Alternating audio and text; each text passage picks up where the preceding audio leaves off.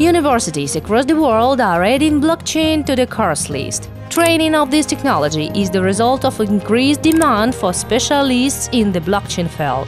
Although the market still has a storage of blockchain engineers, many universities, such as the University of Edinburgh, Massachusetts Institute of Technology, Stanford University, the University of California, Berkeley, and several others are already offering courses on blockchain study.